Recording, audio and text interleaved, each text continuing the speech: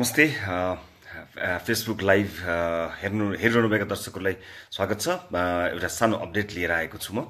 यहाँलाई थाहा छ हामी ठुला ठुला एकदमै बढेमानका कुराहरू गर्ने क्षमता राख्छौँ राख्दैनौँ थाहा छैन तर प्राथमिकतामा हाम्रो पर्दैनन् हामी साना साना कामहरू गर्ने योजना सधैँ बनाइरहेका हुन्छौँ जस अन्तर्गत हामीले हिजोको कार्यक्रममा एउटी चेलीको वेदना एउटी चेलीको मेसेज यहाँहरूलाई देखाएका थियौँ र यहाँहरूलाई अपडेट पनि दिएका थियौँ। हामी यसमा काम गरिरहेका छौँ भनेर र भर्खरै एउटा खुसीको खबर प्राप्त भएको छ। त्यही खुसी दर्शकहरूलाई साट्नको निमित्त मैले फेसबुक लाइभ मार्फत आएको छु। म ढिला पनि भइसक्यो होला कति दर्शकहरू सुति पनि सक्नुभयो होला। सोचेको थिएँ भोलि भोलि भनौँ तर सम्हाल्न सकिएको सकिनँ। त्यस कारणले दर्शकहरूलाई यो अपडेट बाँड्न नै पर्छ भन्ने सोचेर फेसबुक लाइभ मार्फत आएको छु। ओमानमा बसेर आफ्नो भिडियो म्यासेज पठाउनु हुने नेपाली चेली जसको नाम हामीले अहिलेसम्म त गोप्य राखेका छौँ तर उहाँले भन्नुभयो हुन्छ भन्नुभएको छ। त्यो आउने कार्यक्रममा हामी उहाँको बारेमा अपडेट दिउँला। उहाँले उहाँले खुसी हुँदै म्यासेज पठाउनु भएको छ उहाँको उद्धार भएको छ। अहिले उहाँ एम्बेसीमा ओमान स्थित एम्बेसीमा हुनुहुन्छ। म यति धेरै पहल गरिदिनु भएकोमा म महामहिम राजदूतज्यूलाई धेरै धेरै धन्यवाद दिन चाहन्छु। एउटी नेपाली चेलीको फेरि सफल उद्धार भएको छ आफू अत्यन्त बिरामी भएको कामको लोड धेरै भएका कारणले समस्यामा परेको जुन एउटा वेदनायुक्त भिडियो उहाँले हामीलाई पठाउनु भएको थियो। जसलाई हामीले चौबिस घन्टा लगभग त्योभन्दा कमै भनौँ प्रयास गरिएको त एक घन्टामै र अहिले उहाँलाई सेल्टरमा एम्बेसीको सेल्टरमा ल्याउन सफल भइएको छ। यो सम्पूर्ण एम्बेसी परिवार सम्पूर्ण दूतावास परिवारलाई हृदयदेखि हामी धन्यवाद दिन चाहन्छौँ र दर्शकहरूलाई यो भिडियो सेयर गर्न म फेसबुकमा लाइभ आएको छु। हामी यो कार्यक्रममा सधैँ भन्दै आएका छौँ। धेरै ठुला ठुला विषयहरूमा संवादहरू भइरहेको परिप्रेक्ष्यमा साना साना विषयहरू छुटेका हुन्छन्। मानिसहरू लाइनमा लाग्नुपर्ने ट्याक्स तिर्न कर तिर्न पनि कर गरे जस्तो हुनु कर लिने मान्छे पनि कर गरी गरी दिनुपर्ने यी सामान्य सामान्य विषयहरू छन् जसले मानिसको सामान्य जनजीवनलाई त्यसै त्यसै अस्तव्यस्त बनाइरहेको छ। हाम्रो प्रयास तिनै सर सर्वसाधारण मानिसहरूको जीवनमा आएका समस्याहरूलाई समाधान गर्दै जाने हो। वैदेशिक रोजगारमा ठगिएका मानिसहरू छन् जसको आवाजलाई उठाउन सकियो भने मानिसमा चेतना फैलिन्छ। कतिपय घरेलु हिंसामा भएका घटनाहरू छन् जुन घर घरमा टोल टोलमा कोठा कोठामा भएका छन्। ती आवाजहरू कहीँ कतै पनि सुनिँदैनन्। ती आवाजहरू प्रतिनिधि आवाज हुन्छन् र तिनै प्रतिनिधि आवाजहरूको बलमा टेकेर हामी समाजमा हुने विभिन्न हिंसाहरूलाई रोक्न सक्छौँ चेतना फैलाउन सक्छौँ। हुनसक्छ कहिलेकाहीँ हामी कतिपय विषयवस्तुमा कडा भएर प्रस्तुत हुनुपर्ने हुन्छ तर हाम्रो उद्देश्य कोही प्रति लक्षित छैन। व्यक्तिप्रति त कहीँ कतै पनि लक्षित छैन। प्रवृत्ति प्रवृत्तिप्रति चाहिँ हामी लक्षित छौँ।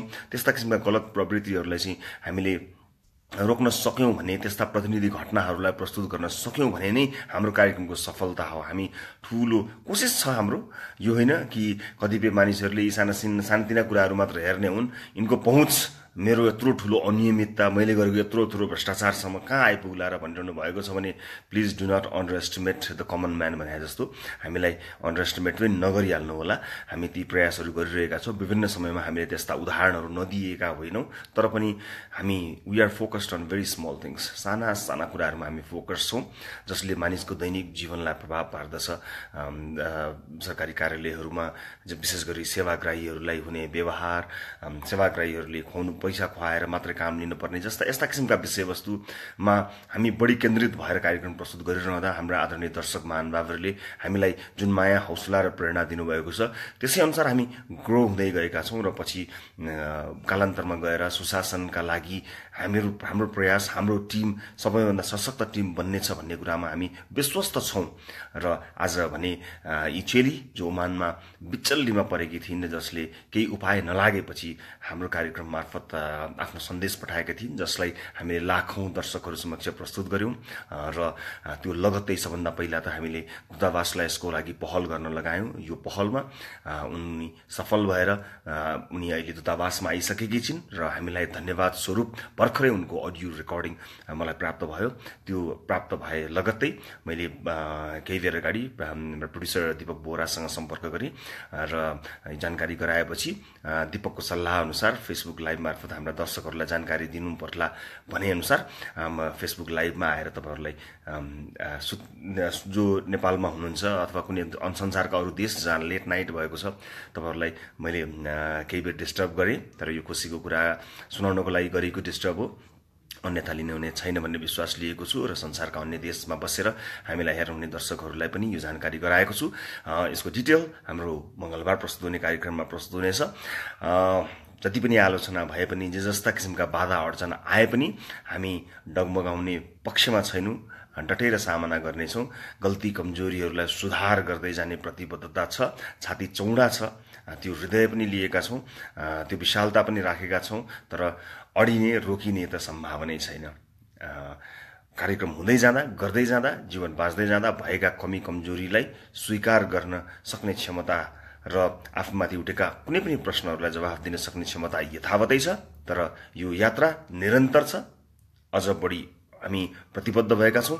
अझ बढी जिम्मेवार भएका छौँ। आलोचना भएनन् भने मानिसहरू मात्रिन्छन् त्यस कारणले सम्पूर्ण आलोचनाहरूलाई धेरै स्वागत गर्न चाहन्छौँ र अझ धेरै आलोचना होस् जसले गर्दा हामी पनि होसियार बन्न सकौँ हाम्रो टिम पनि सजग बन्न सकोस्। सम्पूर्णमा धेरै धेरै धन्यवाद दिन चाहन्छु र फेरि एकपटक ओमानमा उद्धार भएकी चेलीको यो न्युज यहाँहरू समक्ष सेयर गरेको छु।